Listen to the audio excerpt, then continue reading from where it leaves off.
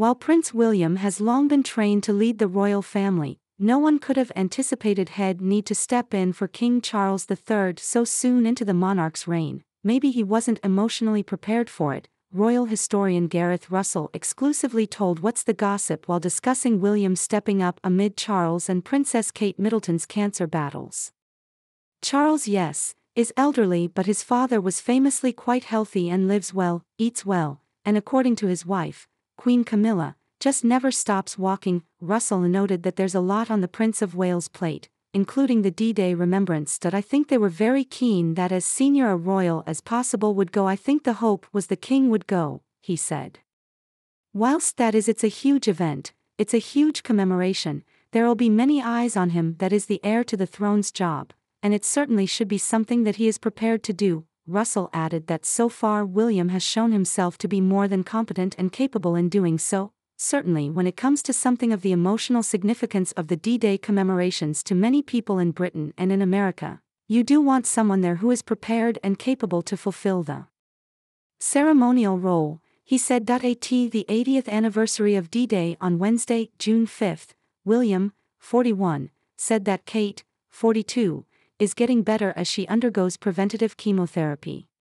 She'd have loved to be here, he added while speaking to veterans. The update comes as William continues with his royal duties while Kate focuses on her health.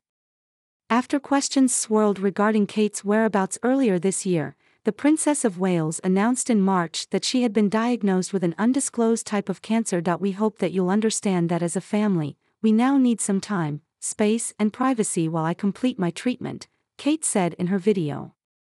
My work has always brought me a deep sense of joy, and I look forward to being back when I'm able.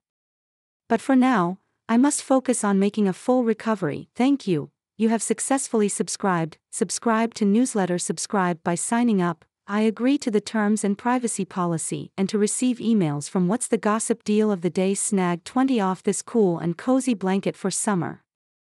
View deal, check our latest news in Google News, follow us, check our latest news in Apple News, follow us. You have successfully subscribed. By signing up, I agree to the terms and privacy policy and to receive emails from What's the Gossip. Check our latest news in Google News, check our latest news in Apple News. William, who's first in line to the throne, has been feeling the pressure as both his wife and the king, 75, receive treatment for their respective cancer battles. It's been stressful, a source exclusively told us in April. William feels a profound sense of duty to uphold the monarchy's stability and inspire confidence in the public that everything will be okay. It's an immense responsibility, with reporting by Christina Garibaldi.